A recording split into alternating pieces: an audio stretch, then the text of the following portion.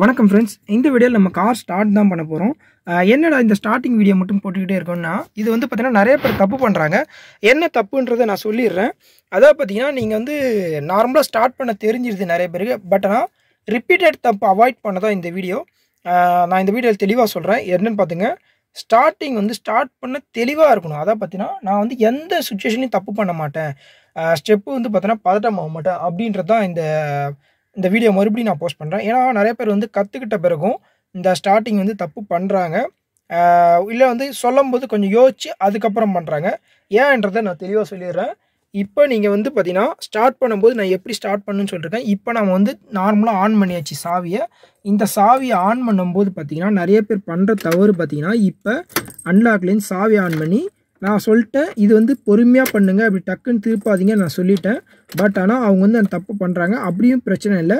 But நானே இதில் ஒரு சின்ன தப்பு பண்ணேன் எனக்கு ஒருத்தர் சொல்லியிருந்தார் ஓகே நான் மாற்றிக்கிட்டேன் இந்த சாவியில் நீங்கள் ஆன் பண்ணாதீங்க சாவி பிரேக் ஆகும் அப்படின்ட்டு அதாவது உடஞ்சிரும்ன்ட்டு. பட் அதே நேரத்தில் பார்த்தீங்கன்னா நீங்கள் சாவியில் இப்படி இப்படி கையை இப்படி வச்சு இந்த மாதிரி திருப்புங்க. பட் பொறுமையாக ஸ்டெப் ஸ்டெப்பாக திருப்புங்க. நீங்கள் வந்து ஃபுல்லாக திருப்பாதீங்க. ஸ்டெப் ஸ்டெப்பாக திருப்புங்க. இப்போ நான் வந்து பவர் ஆன் ஆகிடுச்சி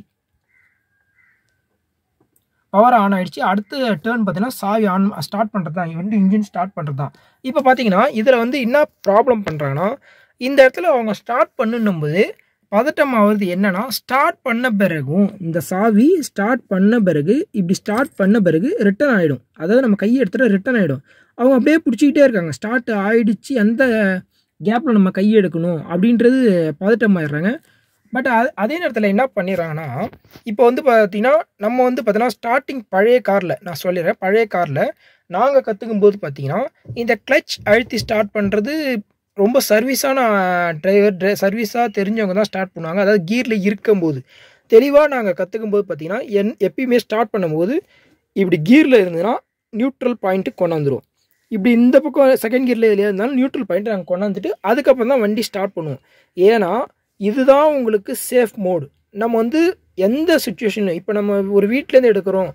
நம்ம வந்து நார்மலாக வந்து ரெஸ்ட் பொசிஷன் எடுக்கிறனாலும் ஒன்றும் பிரச்சனை கிடையாது. அதே வந்து நீங்கள் ஒரு டிராஃபிக்கில் இல்லை ஒரு எமர்ஜென்சி சுச்சுவேஷனில் எடுக்கிறீங்கன்னா இந்த மாதிரி நீங்கள் கியரில் இருக்கும்போது கிளச் அழுத்தி ஸ்டார்ட் பண்ணலாம். பட் ஆனால் அது உங்களுக்கு மைண்டுக்கு வராது. அப்போ என்ன பண்ணுவீங்க? நீங்கள் அப்படியே ஸ்டார்ட் பண்ணுவீங்க. இப்போ இருக்க வண்டியில் ஸ்டார்ட் பண்ணால் உங்களுக்கு ஸ்டார்ட் ஆகாது. அதே வந்து பார்த்தீங்கன்னா பழைய வண்டியில் நீங்கள் பார்த்தீங்கன்னா கண்டிப்பாக ஸ்டார்ட் ஆகும். எப்படி ஆகுனா ஒரு ஜர்க் ஆகும். நீங்கள் கியர்லேருந்து ஸ்டார்ட் பண்ணும்போது அந்த டேர்ன்ஸ் ஷர்ட் போன்ற டேர்ன்ஸ் திரும்பும்போது பார்த்தீங்கன்னா உங்களுக்கு வண்டியோட மூவ்மெண்ட் கிடைக்கும். அப்போ நீங்கள் வந்து பார்த்தீங்கன்னா முன்னாடி என்ன இருக்குன்றதை பார்க்க மாட்டீங்க. அதாவது பார்த்தீங்கன்னா ஒரு டிராஃபிக்கில் ஆஃப் பண்ணிட்டாலும் சரி முன்னாடி வந்து பார்த்தீங்கன்னா உங்களுக்கு ஸ்டார்ட் பண்ணுற கேப்பிங் வந்து கொஞ்சம் கம்மியாக இருந்ததுன்னா வண்டி மூவ்மெண்ட் கம்மியாக இருந்தது. ரிவேஸ் தான் எடுக்கணும். இல்லை வண்டி வந்து பக்கத்தில் யாராவது நிற்பாங்க ஸ்டார்ட் பண்ணதுக்கப்புறம் நம்ம வந்து மூவ் பண்ணி போகலாம். அப்படின்ற சுச்சுவேஷன் இருக்கும். அப்போ வந்து ஒரு மூவ் கிடைக்கும். இப்போ இருக்க வண்டிக்கு எங்களுக்கு தேவை இல்லை இது அப்படின்னு நீங்கள் நினைக்கலாம். பட் ஆனால் எல்லா சுச்சுவேஷனையும் வண்டி எல்லா வண்டி ஓட்டவும் நம்ம கற்றுக்கணும் பட் இது வந்து நல்ல ப்ரொசீஜர் நம்ம நியூட்ரலில் வச்சு தான் ஸ்டார்ட் பண்ணணும். இப்போ வந்து பார்த்திங்கன்னா நிறைய பேர் இந்த நாங்கள் ஓகே நாங்கள் இந்த மாதிரி ஸ்டார்ட் பண்ணுறதுல என்ன தவறு நடக்கும்ன்றதை சொல்லிடுறேன் பாருங்கள் இப்போ இந்த கியரில் வச்சு ஸ்டார்ட் பண்ணுறாங்க பண்ணும்போது அவங்க என்ன பண்ணுறாங்க புதுசாக எப்பயும் நான் கற்றுக்கிட்டு ஒரு வாரம் பாஞ்சு நாள் இல்லை ஒரு மாதம் ஆனாலும் அவங்க கேப் விட்டு வண்டி எடுக்கும்போது என்ன பண்ணிடுறாங்கன்னா இப்போ நம்ம வண்டி ஸ்டார்ட் பண்ண போகிறோம் ஸ்டார்ட் பண்ணி காமிக்கிறேன். நான் பழைய நினப்பில் வரேன். நான் இப்படி தான் ஸ்டார்ட் பண்ணுவேன் பட் ஆனால் அது வந்து எனக்கு ஒருத்தர் சொன்னார் இந்த சாவி வந்து உடஞ்சிரும்னு. நான் இந்த மாதிரி நம்ம வந்து சாவி டேர்ன் பண்ணுறோம் இந்த மாதிரி ஸ்டார்ட் பண்ணலாம். இப்போ வண்டி ஸ்டார்ட் ஆகிடுச்சி இதுதான் ப்ரொசீஜர் பட் இப்போ பார்த்தீங்கன்னா இப்போ நான் ஸ்டார்ட் பண்ணுறது பார்த்தீங்கன்னா கீரில் வச்சு தான் ஸ்டார்ட் பண்ணியிருக்கேன். பட் ஆனால் அப்படி பண்ணக்கூடாது. இந்த சுச்சுவேஷனில் என்ன நடக்குன்னா நீங்கள் இப்படி ஸ்டார்ட் பண்ணிட்டீங்க. அதாவது நடக்கிற சுச்சுவேஷன் ஃபஸ்ட்டு சுச்சுவேஷன் பார்த்தீங்கன்னா இப்படி கொஞ்ச நேரம் வச்சுருப்பீங்க. அதுக்கப்புறம் பார்த்தீங்கன்னா நீங்கள் வந்து யார்கிட்டயா பேச்சு கொடுப்பீங்களா? ஏதாவது வேறு ஏதாவது நீங்கள் வந்து மூவ் பண்ணலாம் இல்லை ஏதோ ஒரு சுச்சுவேஷனை நீங்கள் என்ன பண்ணுவீங்க? காலை எடுக்க முயற்சி பண்ணுறீங்க இந்த காலை எடுத்தனா வண்டி மூவ் ஆகும். இல்லை ஜர்க்காய் ஆஃப் ஆகும். நீங்கள் என்ன பண்ணுவீங்க இந்த காலை வந்து மூவ் பண்ண ஆரம்பிப்பீங்க. இது இப்படி பண்ணக்கூடாது. நியூட்ரல் டக்குன்னு நம்ம பண்ணணுன்ற கவனத்துக்கு நமக்கு வராது. ஒன்று ரெண்டாவது என்ன பண்ணுவாங்கன்னா இந்த ஸ்டார்ட் பண்ணிட்டீங்களே. இந்த ஸ்டார்ட் பண்ணிட்ட பிறகு என்ன பண்ணுவாங்க ஸ்டார்ட் பண்ணிட்ட பிறகு அவங்க வந்து அவ- காலை பட்டுன்னு எடுத்துருவாங்க. ஏன்னா அந்த ப பயத்தில் வண்டி ஸ்டார்ட் ஆகிடுச்சுன்ற பயம் இல்லை வந்து ஒரு சவுண்டில் என்ன பண்ணுவாங்க டக்குன்னு இந்த காலை எடுக்க முயற்சி பண்ணுவாங்க. என்னன்னா இந்த காலை டக்குன்னு இப்படி எடுக்க முயற்சி பண்ணுவாங்க ஒரு பதட்டத்தில் எடுக்க முயற்சி பண்ணுவாங்க அப்படி எடுக்கும்போது வண்டி ஜர்க்காய் ஆஃப் ஆகும். அவங்களுக்கு அந்த ஃபீலு வந்து அவங்களுக்கு வண்டி ஓட்ட விடாது அதாவது பயம் பயத்தை கிரியேட் பண்ணி விட்டுரும். ஒரு பெரிய பயத்தை ஸ்டார்ட் பண்ணும்போதே க்ரியேட் பண்ணிடுச்சுன்னா அவங்க வண்டி ஓட்டுறது ரொம்ப கஷ்டமாக இருக்கும். அடுத்தது என்ன பண்ணுவாங்கன்னா இந்த ஸ்டார்ட் பண்ணிவிட்டு இவங்க என்ன பண்ணுவாங்க மூணாவது பாயிண்ட் முக்கியமான பாயிண்ட் இது எல்லாருமே பண்ணுற தவறு. ஸ்டார்ட் பண்ணிவிட்டு என்ன பண்ணுவாங்க காலை வச்சுருப்பாங்க. பட் அதே நேரத்தில் பார்த்தீங்கன்னா இவங்க வந்து தெரியாதனமாக காலை எடுத்து நியூட்ரல் பண்ண மறந்துடுவாங்க இது ஏற்கனவே சொல்லிட்டேன். இன்னொன்றுனா இந்த ஒரு நிமிஷம் நான் நியூட்ரல் பண்ணிக்கிறேன். இப்போ என்ன பண்ணுவாங்கன்னா ஆ ஒரு நிமிஷம். வண்டி ஆஃபில் இருக்கும்.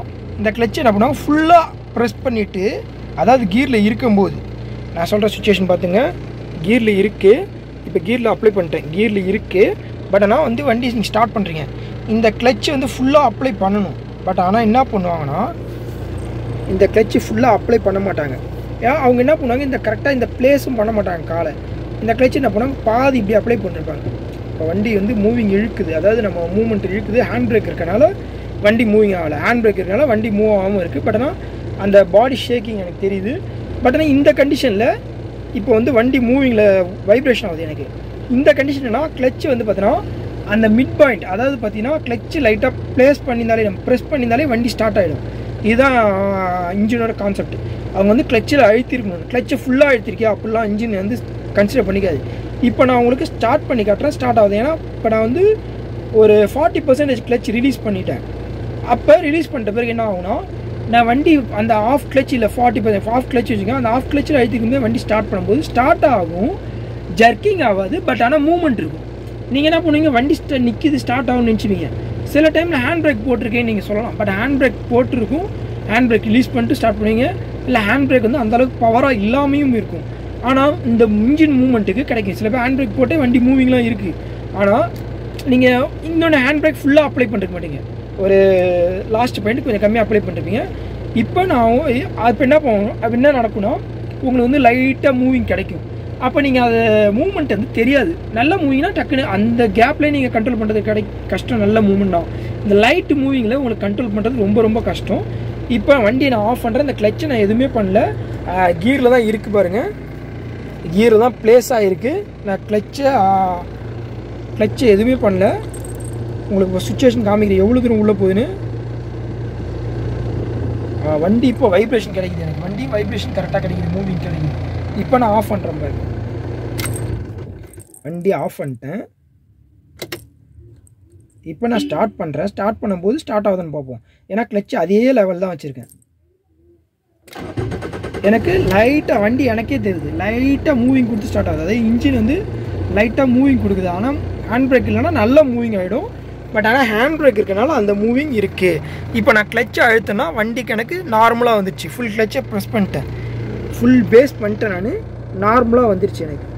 அதனால் நீங்கள் வந்து இப்போ நான் மறுபடியும் பார்த்தீங்கன்னா ஆஃப் கிளச்சில் அதாவது பார்த்தீங்கன்னா ஸ்டார்ட் பண்ண போகிறது வந்து பார்த்தீங்கன்னா கீரில் தான் இருக்குது ஃபஸ்ட்டு கீரில் இருக்குது ஃபஸ்ட்டு கீர்லேருந்து ஸ்டார்ட் பண்ண போகிறேன் ஆஃப் கிளச் தான். அமுத்தி ஸ்டார்ட் பண்ண போகிறேன் பட் ஆனால் ஆஃப் கிளச்சுக்கு வந்து உங்களுக்கே தெரியும். ஆஃப் கிளச்சுனா கொஞ்சம் மூவிங் இருக்கும்.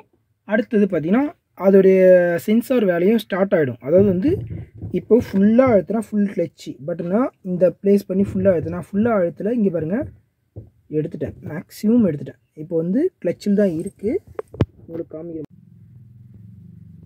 நான் ஃபுல்லாக அழுத்தில் இதுதான் ஃபுல் பாயிண்ட்டு பட் ஆனால் ஒரு மூவிங் பிரகாரம் மூவிங் எப்படி மூவிங் ஆகும் இது வந்து ஃபுல்லாக எடுத்துட்டேன். இப்போ இவ்வளோ தான் எடுத்துட்டேன் இதிலே மூவிங் ஆகும்.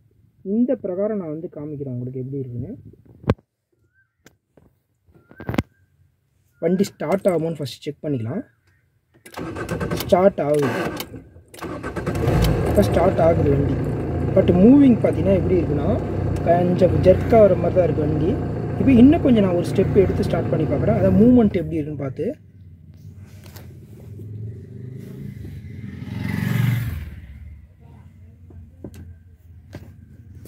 இப்போ நான் இன்னும் கொஞ்சம் காலை ரிமூவ் பண்ணிக்கிறேன். இன்னும் கொஞ்சம் கொஞ்சம் வேலையை ஃபுல்லாகவே எடுத்துகிட்டு நான் மறுபடி கொஞ்சோண்டு. ஓகே ஸ்டார்ட் பண்ணி பார்க்குறேன். இப்போ மூமெண்ட்டை கிடைக்குது. ரொம்பவே ஷேக் ஆகுது. அது பாருங்க. நான் இப்போ உங்களுக்கு மறுபடியும் ஸ்டார்ட் பண்ணி காமிக்கிறேன். அதாவது பார்த்தீங்கன்னா லைட்டாக தான். அதாவது இப்போ டுவெண்ட்டி பர்சன்ட் தான். சும்மா லைட்டாக ஒரு டென் பர்சன்ட் கூட சொல்லலாம். எப்படி மூமெண்ட் இருக்குன்னு ஸ்டார்ட் பண்ணி காமிக்கிறேன் பாருங்க. கியரில் அப்ளை பண்ணியாச்சு. இப்போ டெஸ்ட் பண்ண போகிறோம் இப்போ பாருங்கள் நான் வந்து ஒரு டுவெண்ட்டி பர்சன்ட் நான் அதாவது ப்ரெஸ் பண்ணிருக்கேன். நம்ம கிளச் அப்ளை பண்ணிருக்கேன். ஃபஸ்ட்டு கியரில் தான் அப்ளை பண்ணிருக்கேன். இப்போ வந்து நான் ஸ்டார்ட் பண்ணி காமிக்கிறேன் பாருங்கள் செல்ஃப் போட்டு காமிக்கிறேன். பாருங்கள் அங்கே எப்படி ஆகுதுன்னு. வண்டி ஒரு மூவிங் தெரியுதா? இப்படி இருக்கும். அதாவது ஒரு சின்ன ஜர்க்கு மூமெண்ட்டு இருக்கும். நீங்கள் கிளச்சில் காலை வச்சு தான் இருக்கீங்க ப்ரெஸ் பண்ணுற இதை சரியாக ப்ரெஸ் பண்ணாதவங்களுக்கு இந்த மாதிரி கண்டிஷன் இன்னும் கொஞ்சம் அதாவது பார்த்தீங்கன்னா நல்லா பார்த்துங்க. இன்னும் கொஞ்சம் ஒரு பாயிண்ட் அதாவது இவ்வளோ பாயிண்ட் நான் ப்ரெஸ் பண்ணுறேன் இன்னும் கொஞ்சம் ஒரு பாயிண்ட் ப்ரெஸ் பண்ணுறேன்னா எப்படி இருக்குன்னா